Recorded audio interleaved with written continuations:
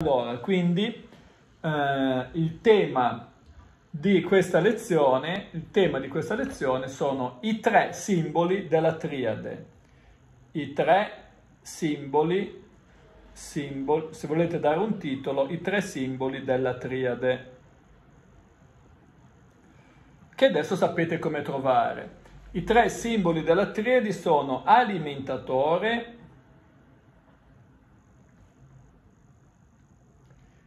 eh, stimolatore penalizzante,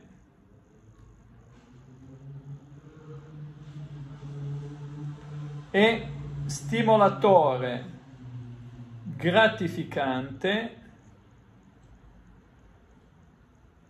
noto anche come simbolo egemone. Allora, questi sono i tre, eh, ogni, ogni persona, diciamo, ha eh, questi tre simboli della triade combinati in vario modo. Le, le, le varie combinazioni eh, che vengono fuori sono otto combinazioni, due alla terza sarebbe, otto combinazioni, perché sono tre simboli combinati due a due, insomma, eh, due alla terza che fa otto, quindi sono otto, eh, otto combinazioni per le donne e otto combinazioni per gli uomini. E adesso abbiamo, eh, sappiamo come ricavarli, no? quindi una volta che ho riconosciuto in qualche modo l'alimentatore, adesso parleremo, so che lo stimolatore penalizzante è omologo se la persona si aggancia sul desiderio ed è eterologo se la persona si aggancia sul possesso. Eh, salutiamo Christian, mentre il gratificante è il terzo segno mancante quindi in questo modo avete tutte le possibilità di eh, ricavare, diciamo, tramite un'equazione tutte le varie combinazioni. Adesso cerchiamo di capire mh, però come riconoscere, perché abbiamo detto, bene, io, eh, come dire, se ho eh, queste informazioni riesco a riconoscere. Allora, quindi facciamo una lezione oggi un po' più pratica, un po' più pratica, per capire come posso riconoscere, perché poi non è che io possa andare in giro con la tabella e diciamo vediamo questo cosa fa, no? Devo avere delle informazioni per riconoscere. Quindi cioè, facciamo, alterniamo un po', perché poi ci saranno altre lezioni un po' contorte, diciamo, un po' complesse, e quindi invece vediamo un po' una lezione un po' più pratica su come riconoscerli. No? Allora io incontro una persona e eh, e devo capire che, che simbolo ha. No? Quindi, ehm, prima cosa che devo fare è prestare attenzione ai suoi comportamenti e alla sua gestualità, perché i comportamenti e la sua gestualità, eh, i comportamenti, le parole, la sua gestualità, come abbiamo detto, rimandano al simbolo eh, al suo simbolo alimentatore, al suo simbolo alimentatore.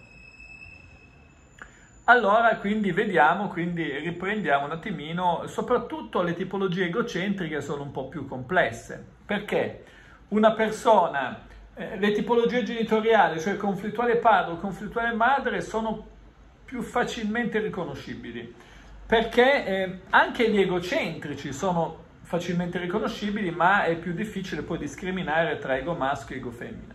Allora, cerchiamo di fare un po' di luce, un po' di chiarezza. Un, un uomo, partiamo da un uomo, quindi vediamo eh, rapidamente diciamo, gli alimentatori perché ne abbiamo già parlato, ma ci interessa anche a livello non verbale. Allora, un uomo che è conflittuale padre, intanto tutto riporta all'asta, no? tenderà a essere rigido, tenderà a gesticolare in questo modo, tenderà a tenere la penna in questo modo, ehm, tenderà a usare parole che per analogia o per contrasto riportano al simbolo del pene, lungo, duro, eh, ma anche mollo e corto, flessibile, ma anche rigido. E, ovviamente le utilizzerà nei discorsi, no? che farà, eh, questo è stato un inverno molto rigido, ehm, è duro, eh, affrontare bla bla bla no, la situazione. Poi gesticolerà in questo modo, avrà un comportamento che sarà tendenzialmente cazziante. Ecco, con te non c'è niente da fare, non capisci un cazzo, vaffanculo per dire, no? Cioè ti amplifica il problema e ti nega la soluzione al problema. Eh, questo è il conflittuale padre. Eh, il conflittuale madre, viceversa, tenderà a essere protettivo, tenderà a essere morbido, tenderà a utilizzare delle parole che per analogia e per contrasto riportano il simbolo della vagina. Quindi dobbiamo essere di larghe vedute, dobbiamo accogliere, eh, dobbiamo accogliere tutti i profughi che arrivano, ehm, proteggerli perché le intemperie possono, bla bla bla, anzi vado io quasi quasi questa notte a col, con la barca a raccogliere qualcuno, eh, oppure insomma, non lo so, tenderà a essere, oppure ce l'avrà con, ecco, mentre il conflittuale padre sarà incazzato con gli uomini perché è incazzato col padre, il conflittuale madre sarà incazzato con le, la madre e di conseguenza con tutte le donne, che però rappresentano anche il soggetto di desiderio se eterosessuale, quindi eh, rappresentano ciò che desi- rappresenta ciò che desidera, ma anche sessualmente magari, ma anche lo fa incazzare, no? Perché, eh, e quindi tenderanno a sviluppare, diciamo così, introduciamo questo concetto, eh, un pensiero dominante o un pensiero prevalente o un pensiero egemone,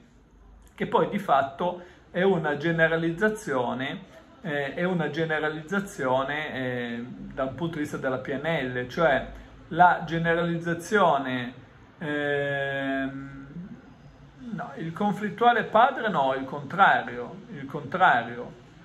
Il, contra- il conflittuale padre non salva il padre, no, no, no, non salva il padre.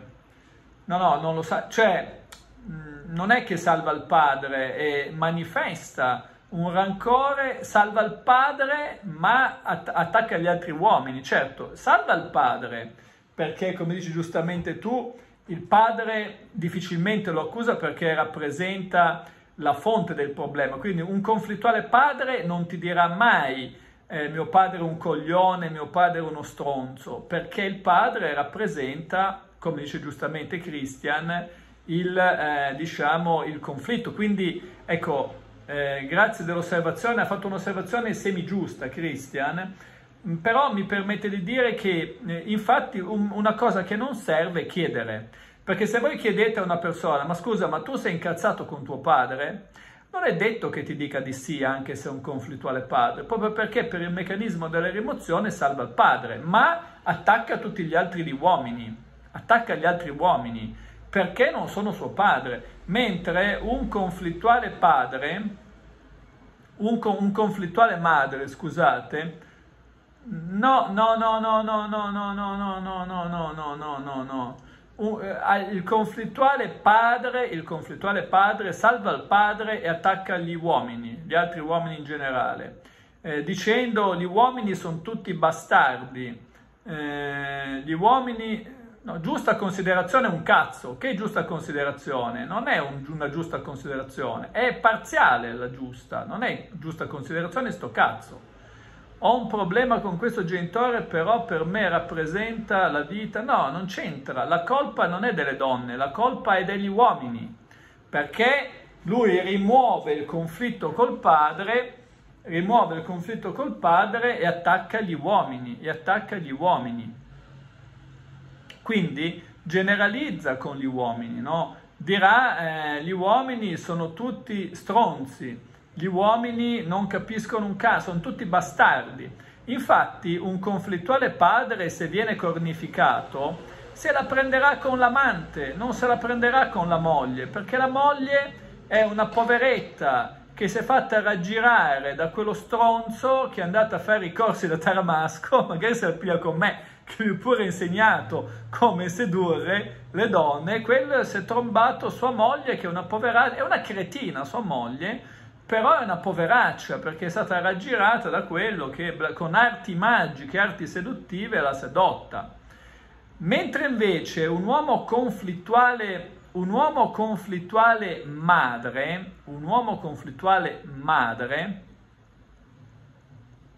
un uomo conflittuale madre, eh, ma no che è così, che cazzo dici? Un uomo conflittuale madre è incazzato con la madre, ma non te lo dirà che è incazzato con la madre, ma per generalizzazione è incazzato con tutte le donne. Quindi un uomo conflittuale madre, un uomo conflittuale madre, se eh, diciamo viene tradito, eh, se la prenderà con la moglie, non con l'amante, tenderà a giustificare l'amante e a non giustificare la moglie, perché eh, l'amante è un poveraccio che è stato raggirato da quella troia di mia moglie, da quella troia di mia moglie che è, è una ninfomane e se li scopa tutti.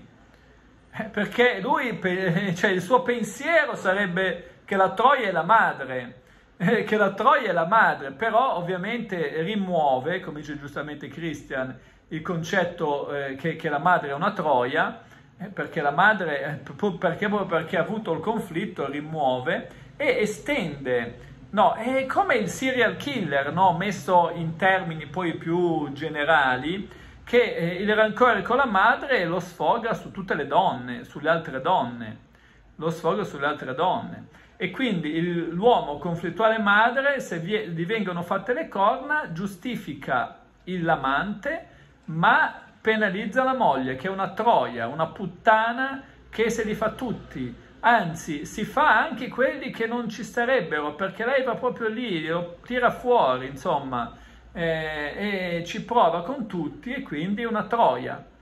Eh, ecco, quindi viceversa, eh, diciamo, l'uomo conflittuale padre eh, ce la generalizza, è una generalizzazione, no? Quindi c'è questo pensiero dominante eh, diciamo, l'uomo conflittuale padre pensa agli uomini, son, eccetto lui fondamentalmente, ed eccetto il padre che è rimosso, gli uomini sono tutti figli di puttana, puttanieri, eh, mi metteranno i bastoni tra le ruote perché il problema è l'antagonista. No? Tra l'altro, iniziate a incamerare queste informazioni perché poi parleremo di triadi, ma in realtà ehm, parleremo di diadi e di triadi, perché nelle diciamo, tipologie genitoriali non esistono le triadi, esistono le diadi quando andremo a parlare di diadi e di triadi, mentre nelle tipologie egocentriche esistono le triadi perché ci sono tre elementi. Quindi a livello di diade iniziate a incamerare questa informazione, una, un uomo conflittuale padre ha l'antagonista presunto, perché l'antagonista vive dentro di lui. Quindi uomo conflittuale padre ha l'antagonista presunto. Questa è l'informazione che poi vi servirà anche dopo. Uomo conflittuale padre ha antagonista presunto. Eh, presunto perché? Perché, eh, lo, perché, lui è conflittuale padre, quindi l'antagonista ce l'ha dentro, perché il conflitto ce l'ha interiore eh, non è esterno a lui, ecco, diciamo così, non è esterno a lui il conflitto, antagonista e quindi è presunto. Cioè presume l'esistenza di un antagonista a seconda di come si comporta l'oggetto di desiderio, ma in realtà è lui che è in conflitto con se stesso, cioè perché lui è in conflitto con se stesso perché? Perché lui è maschio ed è conflittuale padre, quindi alla fine sviluppa il conflitto con il suo stesso genere. È come se il padre vivesse dentro di lui, cioè eh, è chiaro, no? Questo antagonista presunto. Mentre invece un uomo conflittuale madre eh, ha l'antagonista reale. Antagonista reale. E l'antagonista, diciamo, eh, chi è? È, eh, sono soggetti, è il soggetto femminile che antagonizza con lui tutte le donne che antagonizzano con lui. Quindi per quello che dicevo che se è eterosessuale, l'antagonista e l'oggetto di desiderio coincidono. Quindi a letto col nemico, perché un uomo conflittuale madre eh, ha, ha, vive le donne come antagoniste, mm, perché l'antagonista era la madre. Questa collana è nuova? No. Questa collana era di mia madre, tra l'altro. È una collana che era di mia madre, eh, ma non è nuova eh, ed era di mia madre. eh, allora, quindi eh, questo è il concetto. È chiaro allora no questo concetto?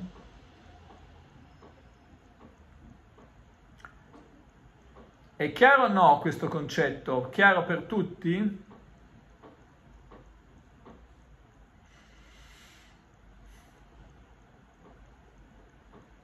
È chiaro o no questo concetto? È chiaro per tutti? Ok. Quindi, eh, diciamo, eh, quindi abbiamo eh, visto come si comportano eh, gli uomini genitoriali, gli uomini genitoriali. Eh, vediamo come si comportano e quindi come li riconosco. Beh, l'uomo conflittuale madre tenderà a gesticolare in questo modo, tenderà a dare la carezza, tenderà a dire sei la solita deficiente ma non ti preoccupare che ci penso io. Allora, mh, mm, ci sono poi gli egocentrici. Gli egocentrici si dividono in ego maschio ed ego femmina. E qua allora eh, intanto dobbiamo capire che uno è egocentrico. Capire che una persona egocentrica è abbastanza facile, a parte che sono un po' la maggioranza della popolazione. No, sono un po' la maggioranza. Mm, ah, ecco, un altro modo per capire il conflittuale padre, un altro modo per capire il conflittuale padre è che io emetto la gestualità. Cioè, se io ho a che fare con un conflittuale padre e gli faccio questo gesto qua, oppure uso le parole duro, lunghe, eccetera, lui tenderà a grattarsi il naso, a raschiare, andare indietro, perché gli dà fastidio, è come se gli presentassi il padre. E quindi a lui dà fastidio perché analogicamente rivive il conflitto, quindi tende ad andare indietro, tende a raschiare, tende a distogliere lo sguardo, a dare dei segnali di, eh, diciamo, a dare dei segnali di eh, rifiuto. Stesso discorso vale per un conflittuale madre. Se io gli faccio questo gesto mentre parlo, no, mentre parlo faccio questo gesto, oppure faccio questo gesto, eh, oppure prendo le cose e le tengo una penna in questo modo, in modo materno, eh, utilizzo parole morbido, larga, stretta, eccetera, eccetera, lui tenderà a dare dei rifiuti, tenderà ad andare indietro, perché questo gli ricorda, mh, mm, gli ricorda la figura materna. Allora, vediamo brevemente le figure egocentriche, qua il tempo vola, sono già passati 27 minuti. Allora, l'uomo ego maschio è un ex conflittuale madre, quindi tenderà a emettere due simboli, questo simbolo e questo simbolo li emette tutti e due. Intanto devo capire che è una persona egocentrica, quindi le persone egocentriche tendono ad essere più indirette, tendono a dare consigli, cioè affrontano i problemi un po' più indirettamente, no? mentre le figure genitoriali sono più dirette. Il conflittuale madre ti dice ti aiuto io, il conflittuale padre ti dice sei un coglione, però lo fa in modo diretto. Mentre tutti gli egocentrici ci girano un po' attorno alle cose, no? Ehm, girano un po' attorno, si accarezzano le mani, e con questo è un altro gesto, sì, questo è un altro gesto di conflittuale madre, questo è un gesto di conflittuale madre, sì. Eh, mentre gli egocentrici, ecco, se ho, se ho capito che è egocentrico, diciamo così, ho capito che è egocentrico, perché agisce indirettamente, ogni tanto fa questo simbolo, ogni tanto fa questo simbolo, e in più ogni tanto emette questo simbolo, ogni tanto emette questo, cioè ne mette due di simboli, eh, ten, eh, diciamo che è un ego maschio, perché l'ego maschio è un ex conflittuale madre. Se eh, altresì, diciamo, ho capito che è un egocentrico, sempre per il fatto che è bla bla bla, ehm, come dire, indiretto, eccetera, eccetera, ma vive la competizione con le donne, con i maschi, quindi l'ego maschio vive la competizione con i maschi, perché ricordiamoci che l'ego maschio vive la competizione con i maschi. E quindi tenderà sempre un po' a essere competitivo, non antagonista, cioè si aggancerà, vedo che si aggancia quando c'è un altro maschio, allora riesco a decodificare che è ego maschio. Poi eh, lo capisco anche da tante cose, perché un ego maschio cerca, si aggancia alla donna trasgressiva, poi lo vedremo nelle triadi, per renderla istituzionale. Un ego maschio, maschio, un ego maschio, maschio, tende a essere più istituzionale anche nell'abbigliamento, cioè mh, mm, è, è, è, un po' più spento, un po' più morto, diciamo, no? Un ego maschio difficilmente eh, metterà degli accessori femminili, l'ego maschio è l'uomo giacca e cravatta senza accessori particolari, mentre magari un ego femmina è giacca e cravatta, può mettersi la giacca e la cravatta, ma magari si mette le scarpe da ginnastica, magari si mette qualche anello, diciamo. Gli anelli, che sono cose, oggetti tipici femminili, le collane, i bracciali, gli orecchini, piacciono di più all'ego femmina invece, perché l'ego femmina eh, è maschio, diciamo, ex conflittuale padre, quindi tendenzialmente bacchettante, siete delle cretine, ve l'ho sempre detto, dei deficienti, non capite un cazzo, siete dei minus habilis eh, e, e, contemporaneamente però eh, diciamo eh, è un po' di competitivo verso le donne e ha qualche accessorio che di solito utilizzano le donne, no? un po' più di eccentricità, che può essere ligio, diciamo, e, e va alla ricerca, intanto penalizzo, e va alla ricerca eh, di eh, donne più istituzionali per renderle puttane, mentre l'ego maschio cerca eh, la puttana per renderla santa, l'ego femmina cerca la santa per renderla puttana, questo a grandi linee ovviamente. Eh, bene, direi che abbiamo completato queste cose qua. La prossima volta sarà di nuovo una lezione pratica perché voglio, dobbiamo completare, ce ne faremo un po' di lezioni pratiche adesso che tanto poi vi serviranno, eh, due o tre lezioni pratiche diciamo operative con eh, diciamo qualche esempio così per vedere eh, anche gli stimolatori penalizzanti, lo stimolatore gratificante eh, e, e, gli altri diciamo e anche la parte femminile, quindi tutte lezioni pratiche, lezioni pratiche. Eh, due o tre lezioni, perché poi c'è un po' di teoria di nuovo, un po' pesante, che voi che non avete tante capacità, che siete un po' eh, diciamo deficitari da questo punto di vista,